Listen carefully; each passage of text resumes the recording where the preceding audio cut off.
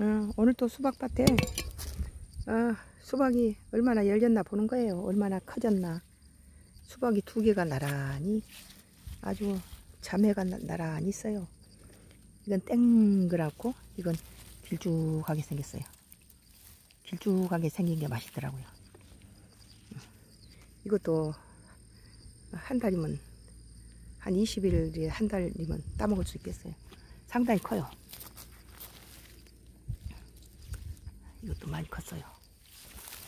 네, 도둑 안 맞아야 되는데. 아, 저 봐요. 꽃이 얼마나 이쁘요.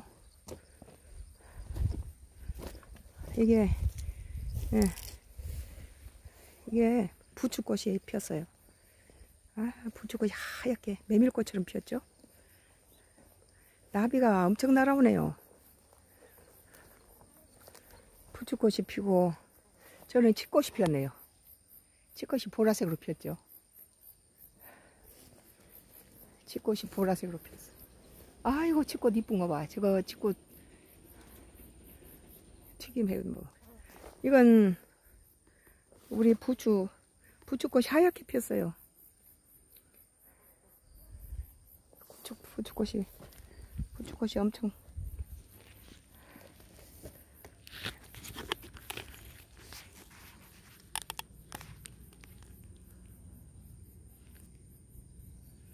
아이고 부추꽃 좀 봐요.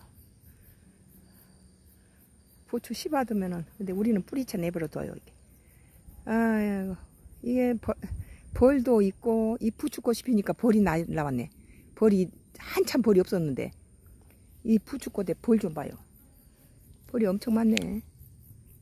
아 부추가 꽃이 피니까 벌하고 나비들이 엄청 나왔어요. 아, 벌이 엄청 많아요 아, 나비도 다 날아다니죠. 나무도 날아다니고, 볼도 많고. 아, 이거 좀 봐. 나비가 날아다녀요. 볼도 많고, 볼 있죠. 볼이 날아다녀. 볼도 많고, 아휴, 푸주가, 이렇게 나비도 있어요. 씨꽃도 피고.